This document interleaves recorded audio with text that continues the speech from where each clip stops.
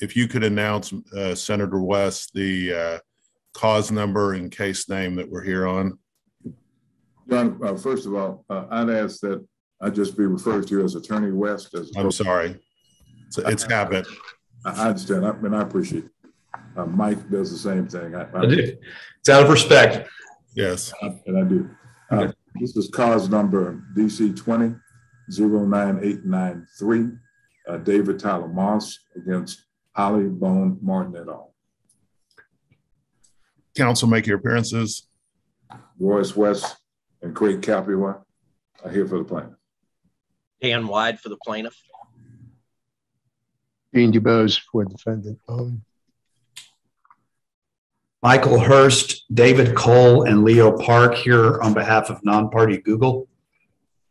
All right, and as I uh, indicated earlier, we previously set this for hearing. Uh, It was going to be a temporary injunction. The court did not have time to hear a temporary injunction, given our massive backlog we have right now due to COVID uh, and a trial that I had going on. And so instead, I granted or indicated I would grant a TRO that had previously been heard by this court. Uh, Apparently, in the process of admitting people into the Zoom call, Mr. Hurst was not let into the Zoom call. I'm not sure how that happened, but apparently it, that's what happened. And so, uh, in respect for Mr. Hurst, we are rehearing this hearing, but I'm very abbreviated for time. I don't really know that TRO requires a hearing, but I do want to hear from you. I'm going to, uh, unless there's an objection, my thought was to admit all of the affidavits that were submitted today and the declarations. Does anyone have any opposition to admitting the affidavits and declarations that were submitted today? No, Your Honor. No, Your Honor. Mr. Hurst? No, certainly not. Thank you. Thank you. All right, so all of those will be admitted. Uh, I'm not sure who's going to argue for the plaintiff and, and respectfully, we don't have a lot of time. So I've read everything. I'm not sure what else. I mostly want to hear from Google, to be honest, but uh, I'll hear from anyone. Everyone has five, each of the three sides have five minutes. Mr. Capua or Mr. uh, Senator, sorry, Mr. West, uh, would you uh, uh, like to proceed? Yes, Honor, and I'll be very uh, uh, brief with it. This court issued a temporary injunction back on October fifteenth, twenty twenty, enjoining certain conduct um, in this particular case as it relates to the assets. The court should take notice that at least on two occasions, the defendant, Holly, um, did two different things. Number one, uh, the house that was a part of the TRO, which was an asset, was uh, sold in uh, Collin County. That's exhibit two. Um, she also testified in her affidavit on page two that she admits to uploading videos from Futuristic to Wildcraft. And you, you had uh, prohibited any transfer of the material and assets from Futuristic. She's done that. There's nothing to lead this court to believe in exercising your inherent authority that she would not do uh, the same thing in terms of in terms of wildcraft, making certain wildcraft turns around and goes to another entity that would be beyond the court. I want the court to understand that wildcraft right now is a asset of a corporation, uh, uh LLC, a limited liability corporation called Wildcraft MC that's in the UK. If the court does not grant our request, then the assets will be beyond the reach of the court uh, to satisfy damages that we believe that will in fact be incurred by the defendants. And so for that, I can go on and on, Judge, but I do believe. So, so let, let, let me ask this. I guess I understood that the TRO was mostly about the videos that had been transferred from Futuristic Hub to Minecraft. Is there also something involving the house? Maybe I missed that. No, that, well, the house is, is subject to a fraudulent conveyance. And Okay, okay, It- but it's not nothing on this TRO. right, Okay. Mr. De, anything else, uh, Mr. West or Mr. Capua? not at this point, sir. Mr. DeBose, you have five minutes. Thank you, Your Honor. Um, as I stated in my original response to this, uh, the requirements for a TRO are not met. Uh, there is no uh, irreparable injury. All they're asking for is money. And um, for that grounds alone, it shouldn't be permitted. They're also trying to take assets that belong to a Great Britain corporation. And that party, that they are not before us whatsoever. Um, they have filed a number of affidavits um, claiming that Mr. Martin made statements that it was he who owned the uh, videos and the channels. And they are two different things. Ownership of the channel is a matter of the way that YouTube is run. The ownership of the uh, videos is a matter of uh, copyright. Um, two of those, uh, probably the two affidavits on which they most rely, which are uh, Marco Princip and uh, Chrissy Barmore, we have put forward documents from them showing that they have lied under oath. So they've lost, they've lost out on that. But the question here is taking away income. This has not been something that's been in this case whatsoever. Uh, the corporation that owns them and pays taxes on them in Great Britain is not before the court. Um, beyond that, you know, my client, this is this is her only source of income. It's a much reduced source now from what it used to be. Uh, this is a woman, um, and I would request that the court listen to her father's deposition about what kind of a childhood she had. It was terrible because of her autism. And the only thing with which she found happiness was making videos. And he saw that in Britain when she was 12 and started doing this stuff. And he bought her computers so she could continue to do it. And one of the uh, videos that we've got as exhibits is showing a couple days ago. Uh, her husband took a video of her up putting together a um, video before the camera in a matter of a few minutes. It wasn't a polished thing, but you could see out there, her hands are flying. She can do that. He doesn't know how to do this. Um, he's made some foolish mistakes, uh, but that shouldn't affect my client. Uh, this is her life's work. It is the only way she has to grasp sanity in the world. And uh, she is much destroyed by what's happened now. You've seen her. She'll just burst out into tears because it's tearing so much away from me. And she really does not understand. And that's that's because the, of the autism. People with autism don't know what the norms of society are. And they're always stumbling across it. And I know how much effective that could be. I had a uh, autistic minute. autistic nephew who, when he got distressed by attacks online, in um, uh, he uh, at three o'clock in the morning in California, he lay his head on a railroad track and was decapitated. It's a very disabling condition. She's found the one thing that gives her joy, and that she can do extremely well. Um, Mr. Keating, in his deposition, admitted the only way you can tell whether someone who is doing a uh, the animation is to see them do it. And her father saw her doing it at the age of 12 and 13, bought equipment for her. This is, she's been shunted, shunted to the side in this case. And she said in her deposition, uh, in her statement to the court, that, you know, she's heard you say that you're not going to believe her. She's heard you say that you've seen all this before and it doesn't make any difference. And she feels that that's just unfair. And I think it is too, Your Honor. We're so close to trial. It seems to me a pointless exercise to go through this because it's all going to be settled by the jury in another, I guess, three weeks now. And so I think for that reason alone, it should, should not be done. Thank you, Your Honor. Mr. Hurst, you have five minutes, or whoever on your side. Mr. Hurst, we can't hear you. Sorry, may it please the court, Your Honor. Uh, it'll be it'll be me. Thank you. I don't know what I missed uh, the other day, uh, yesterday, whenever it was, that persuaded Your Honor to issue what I believe once I speak for five minutes, you will understand is improper and frankly an illegal temporary restraining order, not knowing exactly what the restraining order is. Uh, I, I will tell you, Your Honor, as a non-party, as Your Honor knows, since my firm has been involved in this case, Google has made every attempt to cooperate with the court's wishes.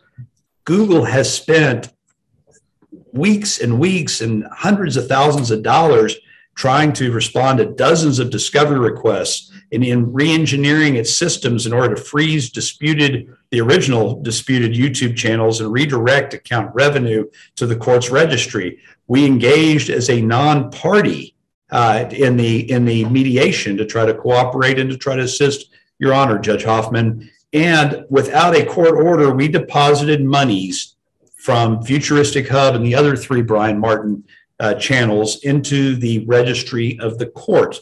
That's what's been done so far, and it's been a great expense and year and, and weeks and weeks and weeks of Google manpower and a lot of expense. Your Honor, while Google is not a party, everyone keeps demanding that Google does the heavy lifting for the parties and the court this is, Your Honor, this is, there's a trial in less than three weeks, as Mr. DeBose just indicated, and Your Honor is about to order post-judgment collections, it sounds like. Google, it seems like, if to use a metaphor, is simply a, a pinata in this case and a party being hosted by this courtroom where the parties on each side keep taking whacks at us. We're being forced to bear the expense um, that bear the expenses of this dispute rather than the parties themselves. And if this were a garnishment action, Your Honor, which you had mentioned before, which it is not, but if it were, and Google was a financial institution as defined by the finance code, which it most certainly isn't, then Mr. West and his clients would have to comply with the garnishment statutes. And among those garnishment statutes, they would be required to post a large bond, and they'd be they would have been required to pay the ex- extensive expenses incurred by us as garnishee in getting there. And I will tell you, the expenses are going to swamp the boat of the of the amount of, of revenue that potentially could be collected in the first place.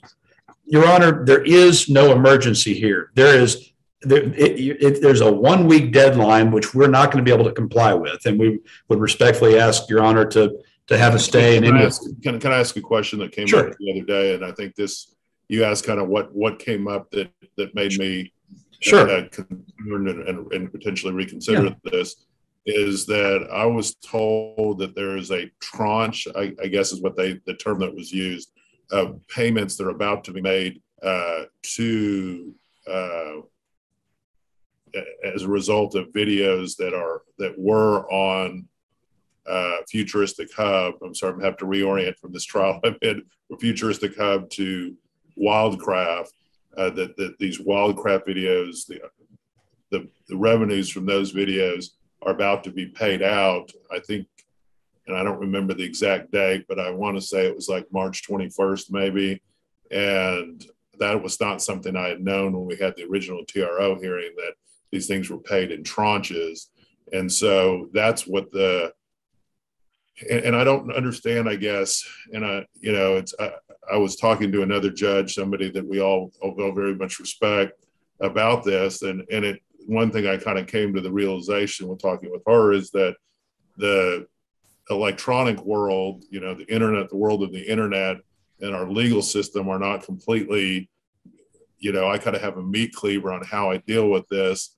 Um, but I, I, I do analogize it to this is a revenue stream, kind of like you would see with a bank. And I'm, I guess I don't know why it's so expensive. I can't imagine this is the only time that Google's ever had to divert income from one person to another uh, because of a court order. Maybe it is the first time. I don't know, but I, that seems hard to believe. But that's all we're really trying to do is is uh, no one, I don't want you guys to treat Mr. Hurst or Google as a pinata. And I'm sorry that Google feels that way or you feel that way. That was never the intention, but we're simply trying to make sure that the assets that might belong to the judgment debtors, I think it's in all probability probably they belong to the judgment debtors, uh, are protected for the time of trial because once they're distributed, uh, as we know, that's very hard to get them back. And so that's the only thing in that that really Google is responsible for is making sure that the, the, the stream of income that's coming from those, these contested videos uh, gets paid into the registry of the court. And, and maybe there's a reason that's so expensive. Maybe this is the first time this has ever come up.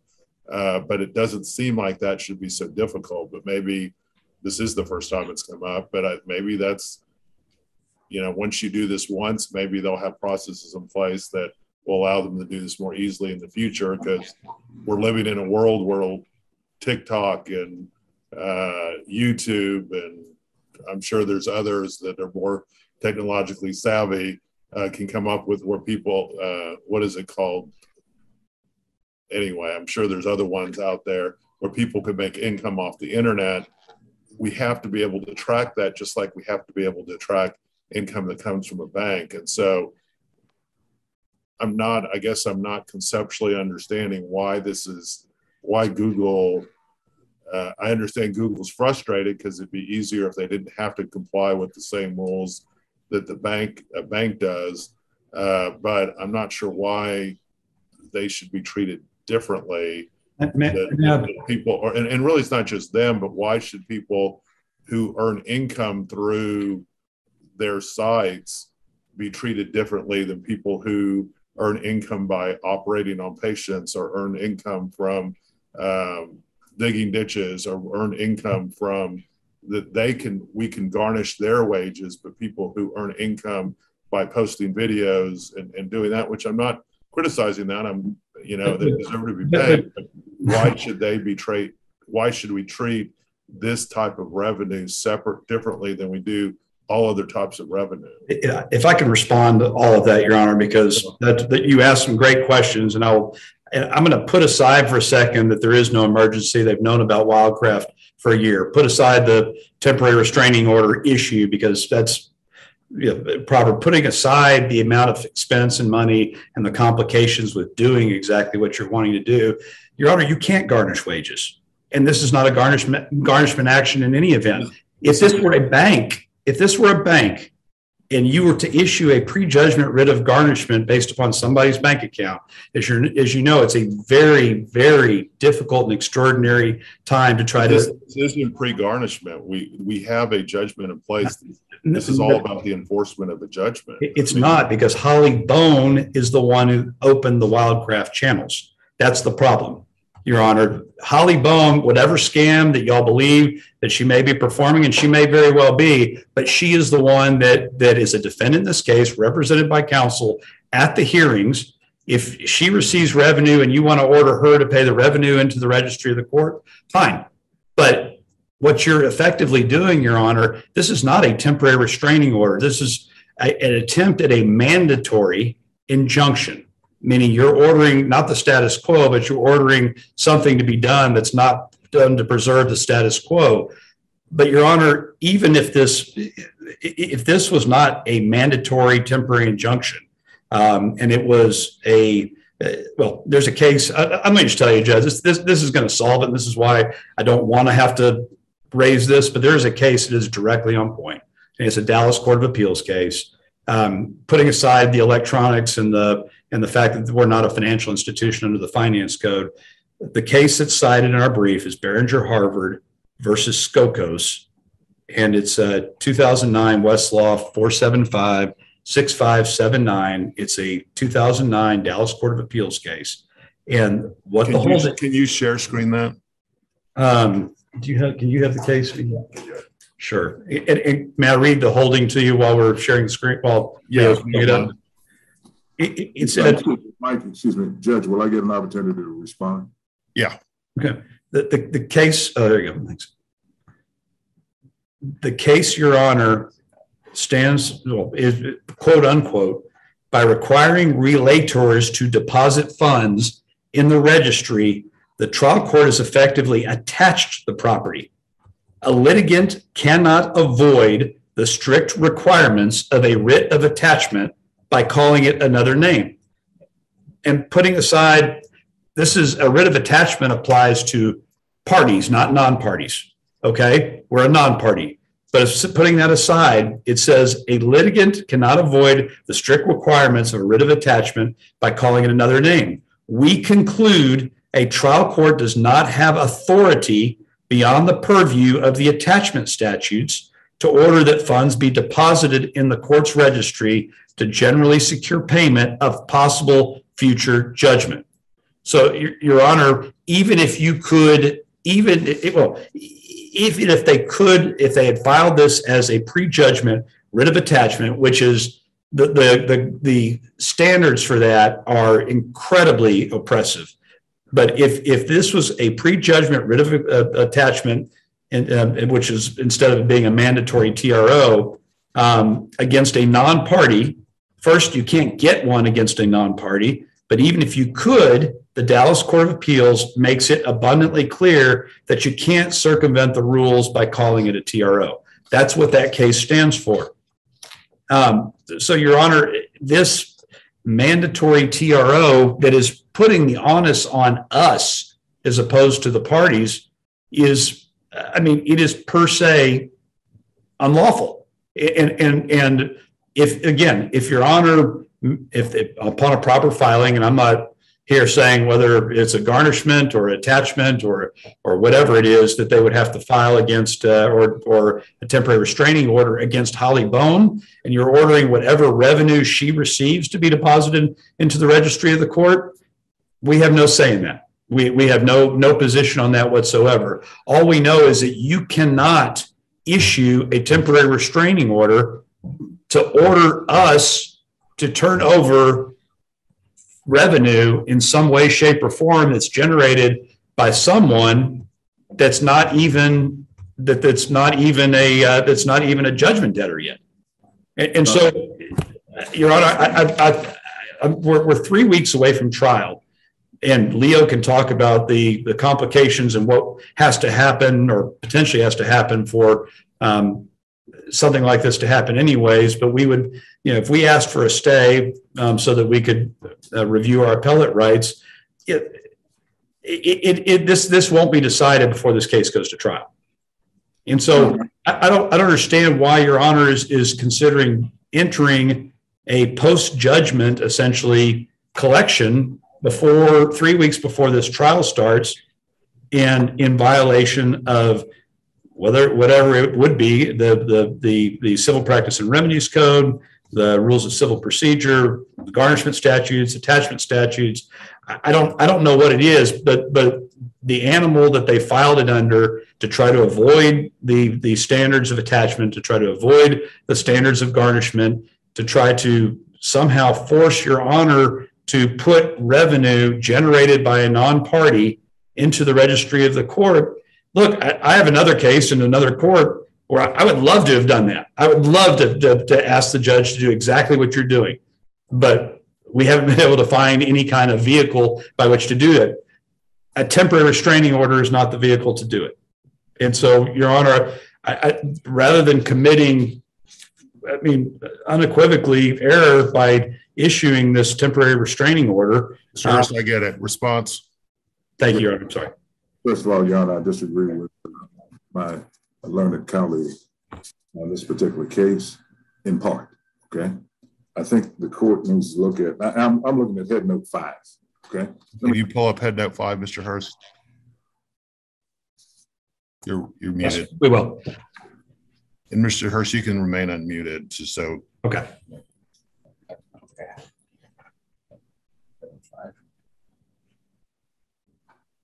Uh, what's that about? Which page is that on? It's actually on, uh, in terms of, well, the way I printed it out is on two of six, but in terms of in the, uh,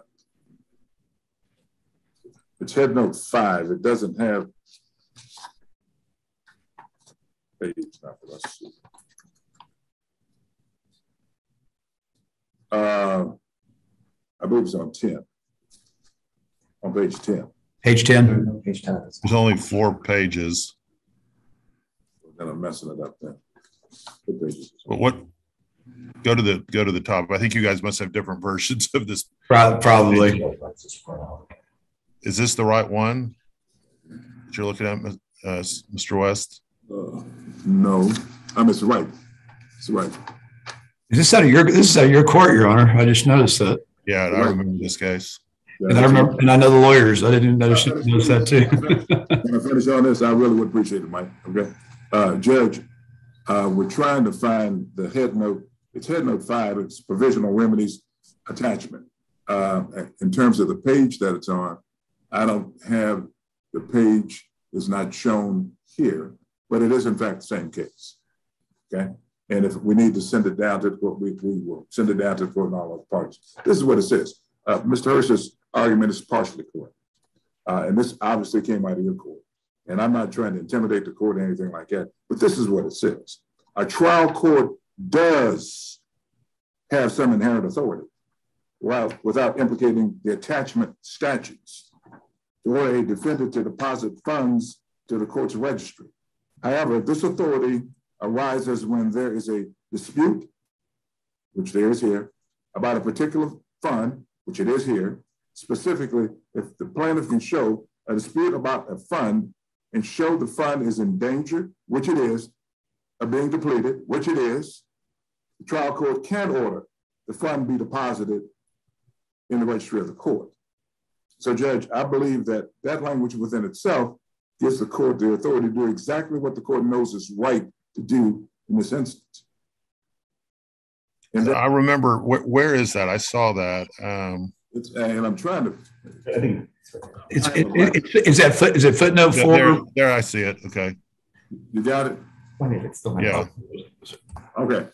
And so the does court does have authority. And another one of the cases cited by my learned colleague uh, uh is uh, RP and R Inc. versus Territo. And again, I, I, have a I have a Lexis copy right here. And uh, can you share screen that case, Mr. Hurst? Mr. Hurst, please unmute. Yes, Your Honor. Sorry. Um, can I share screen of the of the other case? Yeah. What's the what's the case you're saying, Mr. West? Okay, it is the RP and R Inc. case that you guys cited. Territo, 32 Southwest Second. Good job. Thank you. Okay. And Judge, again, it's a Lexis copy that I have. I'm getting back into the practice of law. It feels pretty good. Um, injunction, unless it is clearly established by the facts that one seeking such relief is threatened with an actual irreparable injury if the injunction is not granted. While granting a mandatory injunction is within the sound discretion of the trial court, the grant should be denied absent a clear and compelling presentation of extreme necessity. Judge, when someone, when you order someone to do something and they turn around and does, do something contrary to what you ordered, I think um, as a matter of law, that's a necessity. Are you talking about the selling of the house? Selling of the house and the transferring of futuristic uh, uh, assets to Wildcraft. That's what I'm talking about. You told them not to do it, and they did it. I think Mr. Hurst race, you, you made some excellent points here uh, in this, and I do remember the Skokos case. It was I was a brand new judge when that came out, and and I learned a lot from that. It's it's a, it's an interesting case, very different from this one there was no judgment in place like there is in this one that the, this court is simply trying to you know allow the mechanism to go forward to collect the judgment when so many of these assets have been uh, dispersed uh, and i apologize that google's having to go through all of this. Uh, mr west i am going to grant the tro but i do want uh, it very clearly stated within the tro and i want you to work with mr hurst on this and mr dubose the language, this is part of my inherent authority to do a mandatory injunction, cite to all of the different issues that you've discussed uh, so that if this goes up on appeal, that the Court of Appeals understands why I'm doing this, uh, the history of this case, the history of dispersing assets by Mr. Martin, and uh, the, the hiding of assets that we've seen so far. And uh, I'm, I am going to provide that uh, the, the bond on this will be significant. So we're going to do a, a $10,000 bond. Uh, and so I want you to share the terms of that. And if there's a way that this is can be done more easily, Mr. Hurst, to make it, I don't want, understand why it's so difficult. So maybe if there's something that we're ordering that's causing all of this expense, um, that we could make it easier and cheaper for Google. I'm open to suggestions. I'll talk to Mr. West about that. I want you guys to work on the form of the order. Uh, do you guys have any questions? Yes, Yeah. Your Honor, a couple, a couple, a couple of notes. Uh, You ordered, Google has made two, has made two deposits. Uh, Can you uh, order Google to uh, update the monies deposit within the next ten days? Um, And then. uh, I'm not follow, update, update the monies. I'm not sure what. they're- There were monies in uh, Google accounts for futuristic hub and that was deposited into the court's. Let me just say this, if you want to contact the, the court, the, the trustee's office, they should have that information. Let's try not to make Google do stuff, more stuff than they need to. I understand where Mr. Hurst is coming from, that this has become very expensive to Google. So let's, let's, that's something we can get some other way. at all due respect, there's no evidence of that at all of this record. Okay. It's just, it's just, uh, Mr. Hurst, uh, respect, there's no evidence in the record of the expenses associated with it. What Okay. Mr. Hurst agreed with, and I think, I think I'm right about this, is that they, they would deposit the revenue from futuristic hub into the registry of the court. That was over a year ago. And I think, Mike, correct me if I'm wrong, the last deposit was made back in December of 2020. Since that time, nothing has been deposited. Has there been no other deposits made into the registry of the court from, No, Your Honor, nor, nor is there an order, nor is Mr. West's request set for today, Your Honor. I mean, I, if, if this is, if this is just going to be, let's just throw out requests and demands No, against. I, I, I agree with you, Mr. Mr. Hurst. I, I just, I'm not sure. Okay, All right. We- Uh, you're- Well, Let's, let's get the, I, I'm sorry, I got to get back to my trial. So let's go ahead and get this, tri- this order. It's going to be as to these, the particular videos, like I said before, that were on Futuristic Hub that have migrated to Wildcraft. Any revenue associated with that, uh, with those ri- videos will be deposited in the registry of the court. Uh, for the new videos that were never on Futuristic Hub, uh, we're not going to have any type of TRO and those, that fund can, can, those funds continue to be uh, transferred to the um, uh, to the the British corporation. So Your Honor, I, first, um, it is going to be impossible. I'm just letting Your Honor know, it is going to be impossible to effectuate what Your Honor is ordering prior to March 21st, um, which is five, six days away.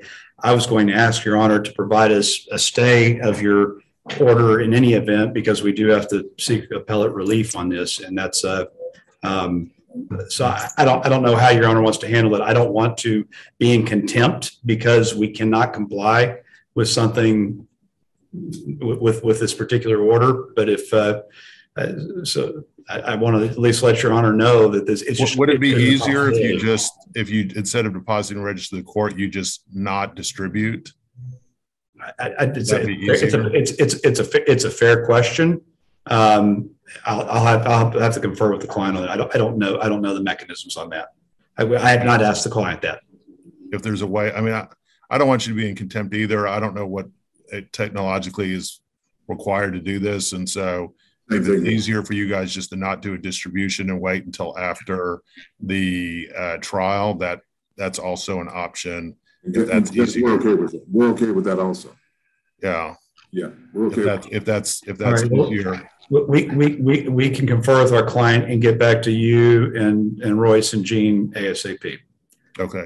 Uh, I will, I will, I do probably have a little bit of time tomorrow. If there's, if you guys have some problems with the issues, uh, issues involving the terminology and the order, I'm happy to talk about that tomorrow. I don't really want to get into a lot of other stuff, but uh, I should have time tomorrow if you do need uh, any type of quick emergency hearing to talk about the terms of the order. Thank you. And, and Tony, can we please, if- with all due respect, is there, I know you've been, a- have been in a trial. Is there any way to get an expedited transcript? If- And I hate to put you on the spot, sorry. I don't know that, we're in the middle of trial right now. I don't know that there is. And we're starting another trial on Tuesday. But Tony, it's up to you. Okay. All right. Well, I'll, I'll check before. I didn't mean to put her on the spot. Yeah. Sorry, Tony. Mike, Thanks, guys. are you available for a conversation? I'm sorry, did you say Michael? Yeah, Mike. Yeah. Yeah, yes. You want me to put you into a breakout room? No, I'll just, just, you've got my cell, Royce. Just give, just give me a call.